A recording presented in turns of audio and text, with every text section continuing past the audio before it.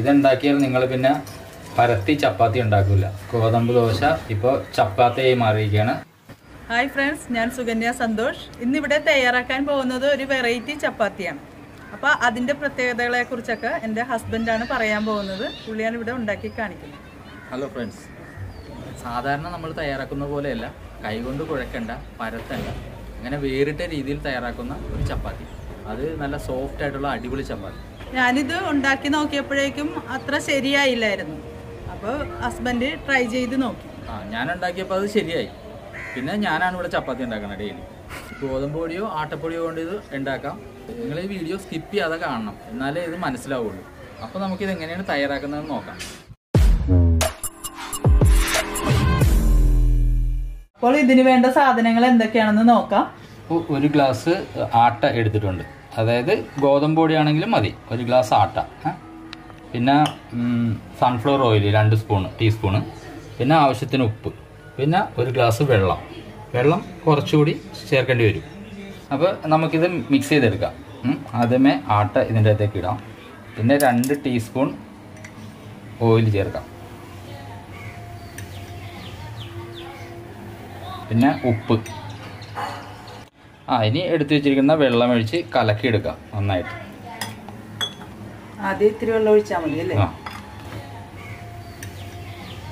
ഒരു ഒന്നര ഗ്ലാസോളം ഒഴി- ഒഴിക്കാം. ഇപ്പം നമുക്ക് ഒരു ഗ്ലാസ് ഒഴിച്ചിട്ട് ഇത് നല്ല പരുവത്തിനാക്കിയെടുക്കാം. നന്നായിട്ട് കലങ്ങണം. ശരിക്കും ഒരു ഒന്നേകാൽ ഗ്ലാസ് മതിയാവും. ഒരു ഗ്ലാസ് പൊടിക്ക് ഒരു ഒന്നേകാൽ ഗ്ലാസ് മതിയാവും. അതിന്റെ ഒരു പരുവുണ്ട്. അതനുസരിച്ച് ശരിക്കും മിക്സ് ചെയ്യാം. തരിയില്ലാതെ നല്ലപോലെ മിക്സ് ചെയ്യണം. അപ്പോൾ ഉണ്ടാക്കുന്നത് പോലെ നന്നായിട്ട് മിക്സ് ഒന്ന് ചെയ്തെടുക്കണം. അത് മിക്സിയിലൊന്ന് അടിച്ചെടുത്താലും മതി. ഒരു അല്പം കൂടി വെള്ളം ചേർക്കാം.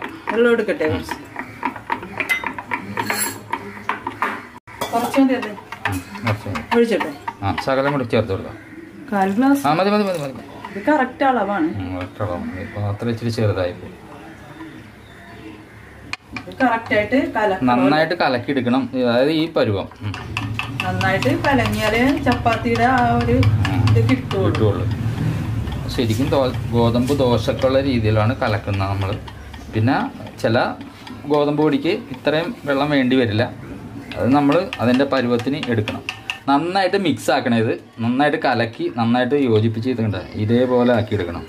ഇത് നന്നായിട്ട് മിക്സ് ആയാൽ മാത്രമേ നമുക്ക് ആ, ഈ ചപ്പാത്തിയായിട്ട് കിട്ടുള്ളൂ അല്ലെങ്കിൽ ഇത് വെറുതെ ഗോതമ്പിന്റെ അപ്പമായി പോകും മിക്സിങ്ങിലാണ് കാര്യം.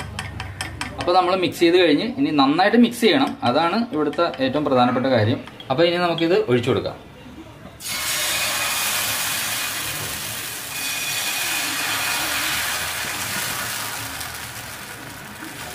ശകലം കട്ടി ഉണ്ടാകണം ഒരുപാട് വലുതും ആകരുത്. നൈസായിട്ട് പരത്തരുത് നൈസായിട്ട് വരുത്തരുത് കുറച്ച് കട്ടി. കട്ടി ഉണ്ടാകണം മീഡിയം ഫ്ലെയിമിലായിരിക്കണം. ആ ഈ വേവിൽ തന്നെ നമുക്ക് മറിച്ചിട്ട് കൊടുക്കാം. ചെറുതായിട്ടൊന്ന് വാടിയാൽ മതി അല്ലേ? ചെറുതായിട്ടൊന്ന് വാടിയാൽ മതി. ഇതിങ്ങനെ തിരിച്ച് മറിച്ചിട്ട് നമുക്കത് ചപ്പാത്തിയൊക്കെ എടുക്കാം.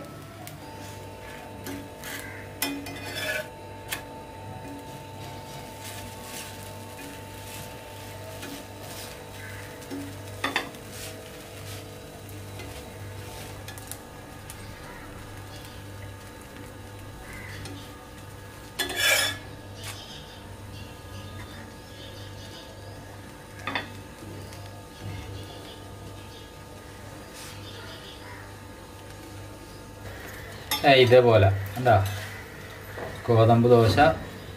ഇപ്പോൾ ചപ്പാത്തിയായി മാറിയിരിക്കുകയാണ്. ഇതുപോലെ നമ്മൾ ഉണ്ടാക്കി നോക്കൂ. ഇതുണ്ടാക്കിയാൽ നിങ്ങൾ പിന്നെ പരത്തി ചപ്പാത്തി ഉണ്ടാക്കില്ല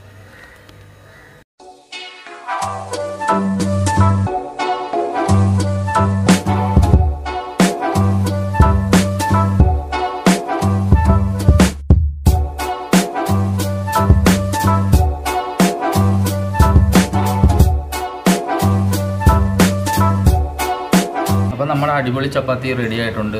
നോക്കിയാൽ നല്ല സോഫ്റ്റ് ആയിട്ടുള്ള നല്ല അടിപൊളി ചപ്പാത്തി.